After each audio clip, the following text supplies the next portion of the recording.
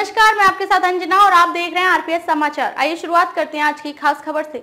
मुख्तार अंसारी की करीबी के हॉस्पिटल पर बुलडोजर, लखनऊ में पार्क की ज़मीन पर बनाया चार मंजिला एफआई अस्पताल, टॉवर की दो मंजिल भी अवैध। लखनऊ में एफआई अस्पताल पर शुक्रवार को बुलडोजर चल रहा है। लखनऊ विकास प्राधिकरण एलडीए की टीम एफआई अस्पताल को तुड़वा रही है। चार मंजिला इस बिल्डिंग को गिराया जाना है।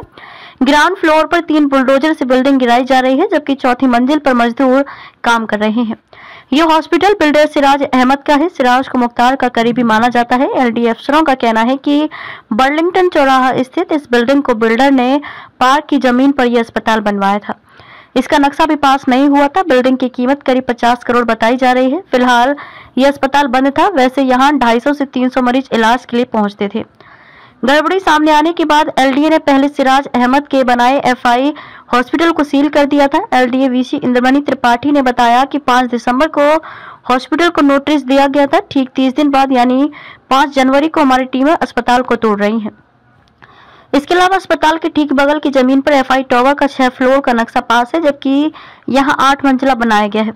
अवैध दो मंजिल में बने फ्लैट में चौबीस परिवार रहते हैं। इससे पहले हॉस्पिटल के बगल में बने आठ मंजिला एफआई टावर की पार्किंग तोड़ दी थी। यहाँ पार्किंग में भी कॉमर्शियल दुकानें बनाकर बेची गई, जो कि नियमों के खिलाफ है। एफआई टावर की टेरिस पर बनाए अवैध पेंट हाउस, एलडीए के जेई इम्तियाज़ अहमद का कहना है कि अठारह फरवरी उन्नीस सौ सत्तानवे में एफआई निदेशक मोनिस इकबाल, उसके भाई सिराज और सहयोगी माइकल ने तेईस हज़ार वर्ग मीटर ज़मीन पर निर्माण की स्वीकृति मांगी थी। छह मंजिला इमारत में बहत्तर फ्लैट बनाने का नक्शा पास किया गया, लेकिन आठ मंजिल इमारत खड़ी की गई। यहाँ तक कि टेरिस पर पेंट हाउस भी बना दिया। इसके साथ ही नियमानुसार छोड़े जाने वाले सेटबैक पर आंशिक निर्माण कराया है।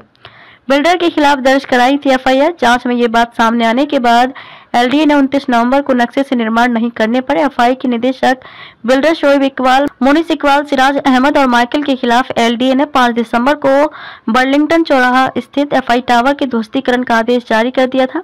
अफसरों ने बिल्डर से जुड़ी अन्य प्रॉपर्टी की भी जाँच जारी की है। एफआई टावर के 24 परिवार फ्लैट खाली कर चुके हैं। एफआई टावर में बने फ्लैट में रहने वालों को भी खाली करने का नोटिस जारी हुआ था। 24 परिवारों ने अपना फ्लैट खाली कर दिया है। ये सभी लोग सात और आठवें फ्लोर पर रहते हैं। दरअसल ये निर्माण दो दशक पुराना है। पिछले दिनों बुलडोजर भी भेजा गया है लेकिन लोगों की मौजूदगी की वजह से तोड़फोड़ नहीं की गई थी।